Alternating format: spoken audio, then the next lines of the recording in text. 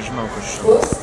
Gerbiamas Vytautai, matau, kad jūs e, komentuojate kiekvieną judesį, iš karto sakote, aha, ugnegesių pajėgos, reiškia, ugnies čia bus, e, dar papildomos priemonės, na, dar vienas fontanas.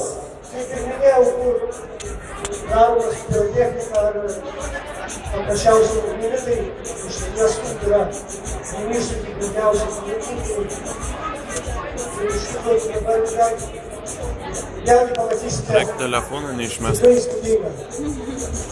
Bet šis triukas, jeigu pavyks, jis papuoš bet kurio paskatinimo biografiją, nes matome, kai kurie netgi filmuoja komandos nariai.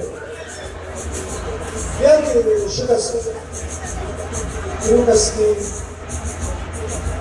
susijęs su, su, su, su trauma, traumos, aišku, gali su ugnies, tai stebėti.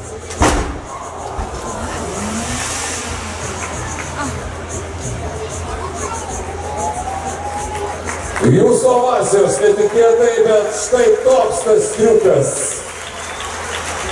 Tikrata žodžio prasme, šis žmogus nepykit, bet interviu neimsiu.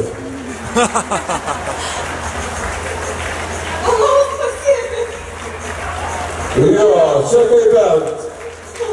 Pati geriausia reklama taurui. Prieš tai klausiau šitame kaltiko, kas buvo taip įstrūvęs есть, что тебя снова прогужит, как крыса